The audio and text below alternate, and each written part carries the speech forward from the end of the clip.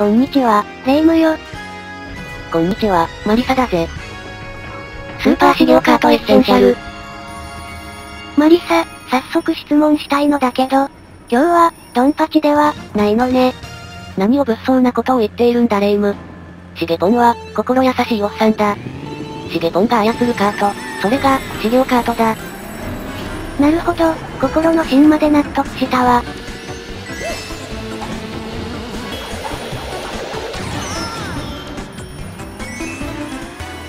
あれ、いきなり3周目。テレビって、そういうもんだ。よくお料理番組で見かけるだろ。30分煮込んで、出来上がったのがこちらです。ああ、タイムリープってやつよね。シュタインズ、ゲートを思い出すわ。あれは名作だったな。マキセクリス、最終的には、惚れてまうな。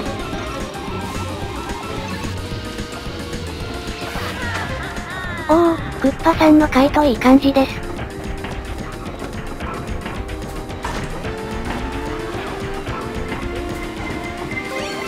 マリオ。いや、資料カートは、後ろからアイテム使ってこられて大逆転ってあるよね。ああ、それが醍醐味だが、こんだけガチガチに食らうとメゲメゲだな。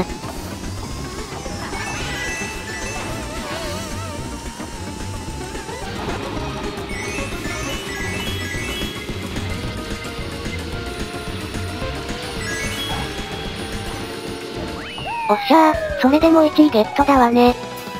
シゲポンの実力は、半端ない。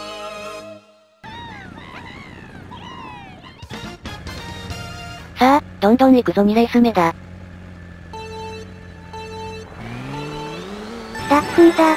レイム、ダックンだとはなんだ、ダックンだ。ああ、ご挨拶代わりのダックンだだわよ。よく聞いて、決して、ダックンのことではないわ。パワハラ先輩で有名な吉谷が勘違いしていたけど、脱粉ではないわ。そうか、安心したぞ。資料カートは、このドリフトが気持ちいいな。操作は簡単、誰でも取っかかりやすい。だけど、極めようとすると、限りなく奥が深い。これが、任天堂のソフトで共通する点だな。テストに出そうなところね。メモしておくわ。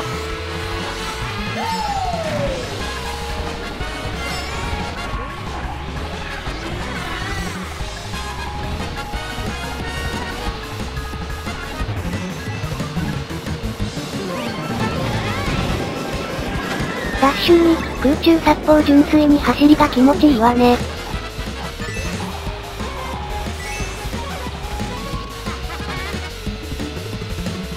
しゃあ、おらー。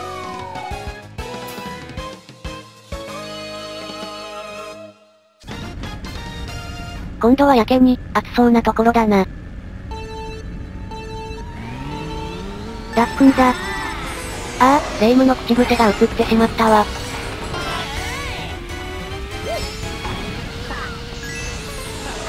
そういえば、今は緊急事態宣言中よね。ああそうだ、日本国民は自宅待機を余儀なくされている。だが、シゲポンは、思いのほかリア充だそうだ。外に行けないのに、つまらなくないのかしら。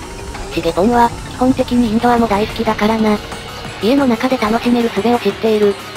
たくましいわね。キー、陰キャ、引きこもらーとも言う。そうなのかしら。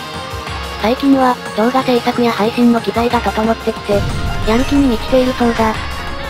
週末は動画制作に勤しみ、平日夜は、主にゲームの腕前を磨くのと、同志たちとのコミュニケーションだ。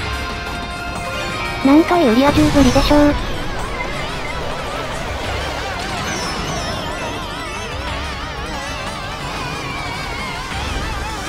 しかし、レースも終盤になるとえげつない足の引っ張り合いね。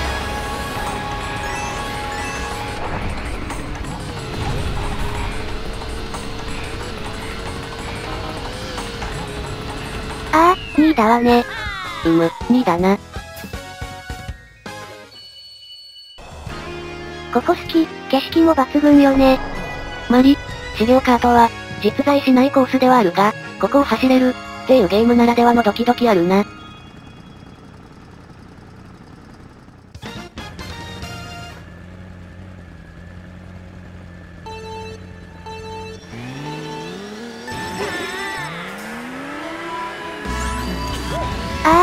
が綺麗だわね。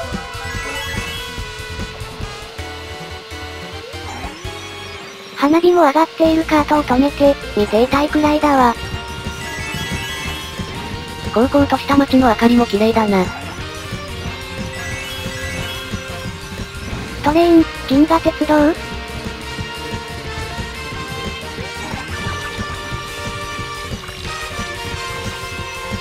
ああ、邪魔すんな。このイカ野郎。レイム、口が悪いぞ。すまん、すまんってす。あ、落ちたな。街の明かりにだいぶだわ。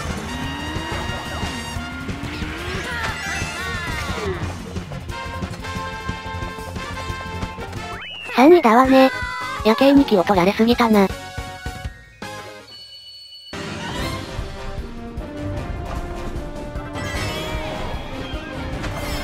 ご視聴ありがとうございました。チャンネル登録と、高評価ぜひともよろしくお願いします。皆さんのポチッとする勇気とくと見させてもらうぜ。たまにはドンパチでない動画も良かったわね。ああ、そうだな。今後は、お子様向け動画も作っていけそうだな。やればできる。またね。